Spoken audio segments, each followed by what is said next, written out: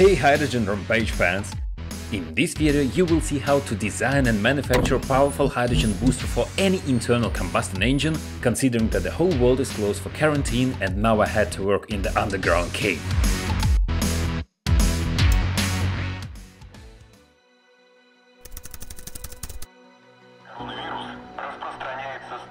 It looks like the whole world locked to quarantine and it was almost impossible to move around the city.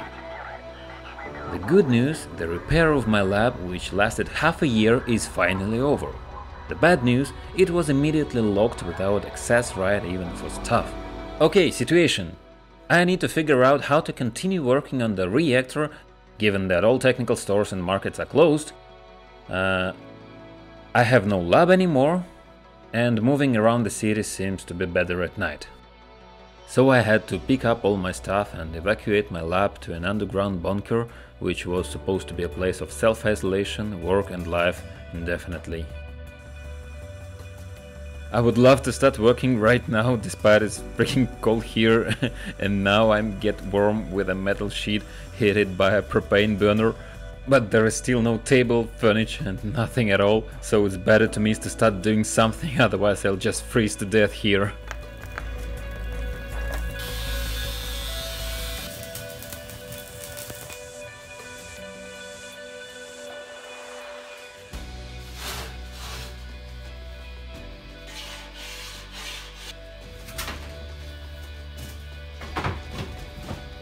Good news, I made a table for myself and now I have a workplace again. And now I had a heater, so now it's heat plus 4 degrees centigrade. So I can finally take up the reactor. Okay, let's remind what I want to do and calculate some parameters of the new electrolyzer. Electrolyzer is a simple device that turns water into fuel with the help of electric current. So we get gas with combustion temperature over 2000 degrees centigrade and the energy density second only to enriched uranium.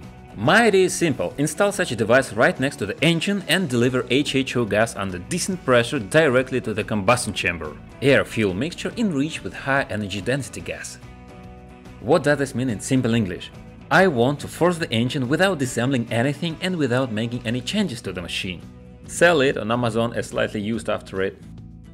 Okay, what power do we need to squeeze out from the new electrolyzer? If my math is right, and sometimes it really is, that is for a notable acceleration of a pit bike with a 4-stroke engine of 140 cubic centimeters, given its power, engine speed range, volumetric efficiency of motor, rate of consumed air, gasoline and brown gas, the operation of the electrolyzer in constant and pulse modes, we need a gas generation rate of at least 3 liters per minute and maximum pressure of 5 atmospheres. So it's better to return the plates to round shape like in an Ironman cell, then the reactor will withstand more pressure due to its uniform distribution on the walls. Now we need to estimate the active area of the plates. My 150 watt cell operating normally without overheating gives 1 liter of hydroxide per minute with a total active area of 1 tenth of square meter.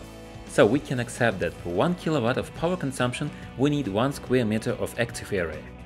If you need 3 liters per minute, the active area of all plates is 3 times larger, it's 3 tenths of square meter. The next question is how many plates are needed and how to connect them. It depends on the voltage of the power source. If we connect the reactor to the onboard battery, this is 12 volts. If we use lithium batteries, then the most affordable ready-made assemblies, which are used in electric vehicles such as scooters and gyroscooters, this is 36 volts. To start electrolysis process you need to fill in the water between two metal plates and simply apply a voltage of 2 volts to them. So if we connect the cells in series and power it by 12 volts battery, we need 7 plates which form 6 cells. But if we make 3 assemblies of 7 plates and connect them as you can see in the picture, then the reactor will power perfectly from 12 volts and 36 volts. Okay, let's sum up all this stuff. We need to get the parts for 19 layer sandwich so that it gives 3 liters per minute and withstand 5 atmospheres. That the words I say to cops if they stop me on my way.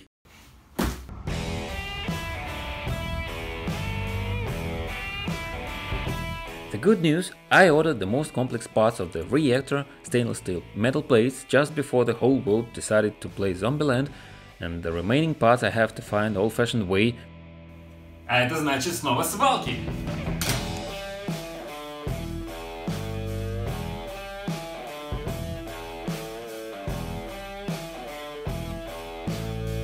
You will be amazed at how many useful things can be found on the scrapyards in Russia after the dusk of Soviet Union era.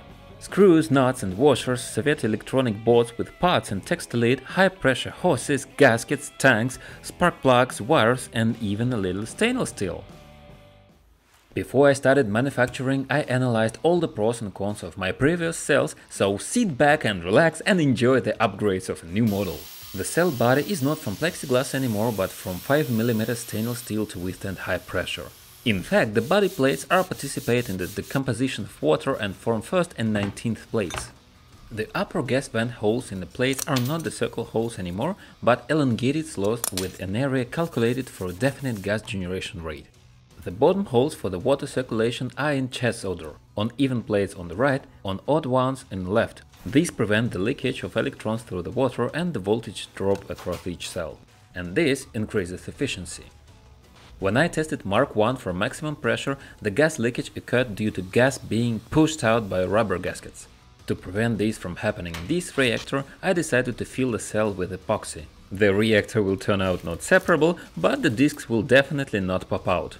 A tank for water and gas supply and foam separation also made from a thick-walled stainless steel. The holes in the tank are designed so it can be mounted horizontally and vertically and the gas output fitting will not be filled with water. As you can see, this reactor combined the best properties of all previous models. Mad engineers who want to do it themselves, please wait for the PDF instruction, there are a lot of technical details, the correct sequence of all operations is also very important, I developed every part by myself, but I could assemble it only after 4 attempts. The last time I even had to completely cut and split the reactor because of one stupid mistake, so don't make it without PDF guide.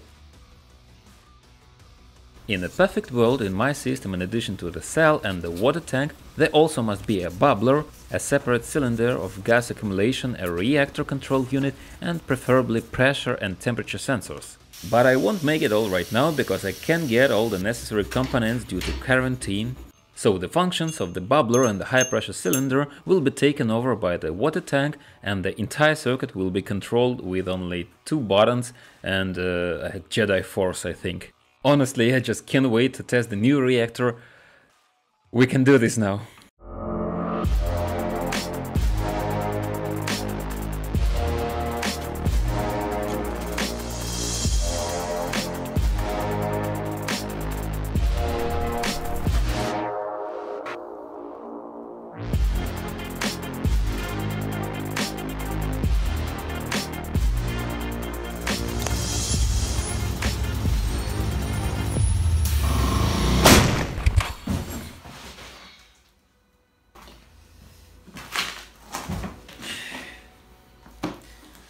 So now let's think as if the Wizard of Oz gave me some brain.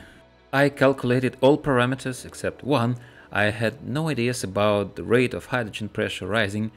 It turned out that it's 6 atmospheres per minute, so the most part of the explosive gas just didn't have time to get into the carburetor, mixed with gasoline vapors and made me Freddy Krueger.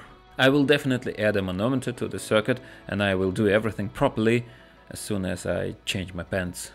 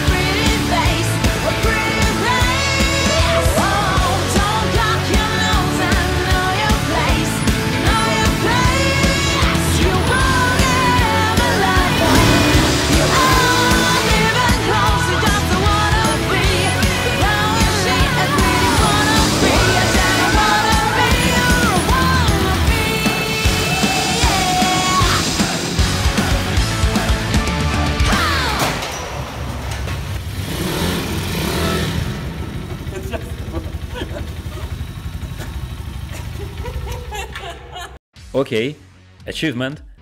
Now I can force any internal combustion engine, whether it be a motorcycle, a car or a tank, making no changes to the engine itself.